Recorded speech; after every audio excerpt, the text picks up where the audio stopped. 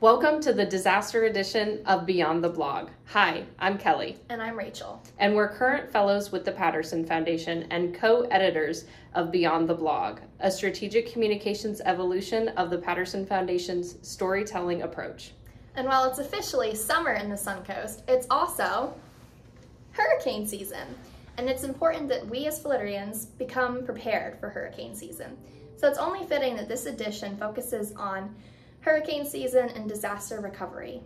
And while Hurricane Ian was last year, it left many of our community members without food, water, power, even the ability to go to school for several months. So we want to hear from you. As part of the Patterson Foundation's Aspirations to Actions initiative, there is a survey going around that if you are interested in taking part in a community conversation about disasters and disaster preparedness, it's in this edition of Beyond the Blog. Please take a look at that and fill it out if you want to be contacted when those conversations are taking place.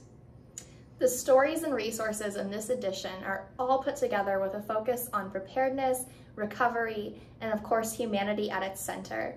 I can't wait for you to flip through this edition and find everything out that you need to know to be prepared and even enjoy some stories along the way. So thanks for joining the journey. Beyond the blog.